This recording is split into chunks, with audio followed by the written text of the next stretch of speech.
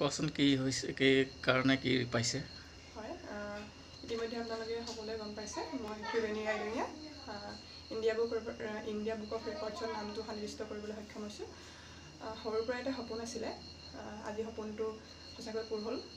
মই ডলা এখনত এশ দহজন স্বাধীনতা সংগ্ৰামী আঁকি পেলাই ষ্টেনচিল আৰ্ট কৰি মই পঠিয়ালোঁ। প্ৰথমতে মই এখন এপ্লিকেশ্যন ফৰ্ম ফিল আপ কৰিছিলোঁ। তাৰপিছত তেওঁলোকে কনফাৰ্মেশ্যন পঠালে। পঠিওৱাৰ পাছত মই সাত ঘণ্টা ঊনত্ৰিছ মিনিট আৰু ছয় ছেকেণ্ডত আঁকিবলৈ সক্ষম হ'লোঁ আম, এশ দহজনৰ ছবিটো। তাৰপিছত গোটেই ভিডিঅ'টো মই তেওঁলোকলৈ পঠালোঁ। যি যি তেওঁলোকে এভিডেঞ্চ বিচাৰিছিলে গোটেইখিনি পঠিয়ালোঁ। পঠিওৱাৰ পাছত তেওঁলোকে মোৰ যিটো ইণ্ডিয়া বুক অফ ৰেকৰ্ডছত নামটো সন্নিৱিষ্ট কৰিবলৈ মই সক্ষম হৈছোঁ বুলি তেওঁলোকে মোলৈ কনফাৰ্মেশ্যন মেইল পঠিয়ালে। তাৰপিছত মই যিখিনি আজি পুৰস্কাৰ পাবলগীয়া আছিলে তেওঁলোকৰ সেইখিনি মোলৈ পঠিয়াইছে। কেনেকুৱা লাগিছে এতিয়া? আজি মই খুবেই সুখী যিহেতু মই সৰুৰ পৰা এটা সপোন দেখি আহিছিলোঁ। আহ, আজি মই সেইটো সফল কৰিবলৈ সক্ষম হৈছোঁ যেতিয়া। মই খুবেই সুখী মই ভাল ভাল পাইছোঁ। কোৱাচোন কি হৈছে কি কাৰণে কি পাইছে? ইতিমধ্যে আপোনালোকে সকলোৱে গম পাইছে মই Tribeni Raidongia India book India book of ৰেকৰ্ডছত নামটো সন্নিৱিষ্ট কৰিবলৈ সক্ষম হৈছোঁ। সৰুৰ পৰা এটা সপোন আছিলে আজি সপোনটো সঁচাকৈ পূৰ হ'ল। মই ডলা এখনত এশ দহজন স্বাধীনতা সংগ্ৰামী আঁকি পেলাই ষ্টেনচিল আৰ্ট কৰি মই পঠিয়ালোঁ। প্ৰথমতে মই এখন এপ্লিকেশ্যন ফৰ্ম ফিল আপ কৰিছিলোঁ।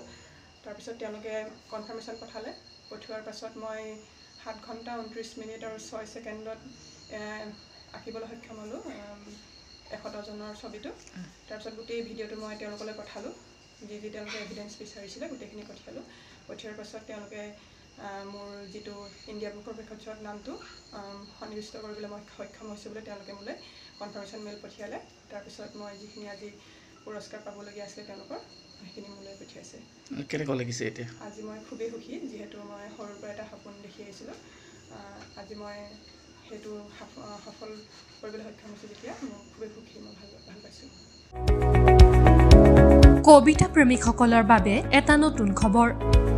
আপোনালোকৰ মন সজীৱ আৰু সতেজ কৰি তুলিবলৈ একৈশটা কবিতাৰে সজাই পৰাই কবি চুমি ৰহমানে প্ৰকাশ কৰিছে এখনি কবিতা পুথি বিহগী মন। বিহগী বন কবিতা পুথিখন আপোনাৰ হাতত পাবলৈ যোগাযোগ কৰক এই নম্বৰত eight six three eight zero' nine five eight two one আৰু nine six seven eight nine two nine six nine one অথবা এই ঠিকনাত যোগাযোগ কৰক।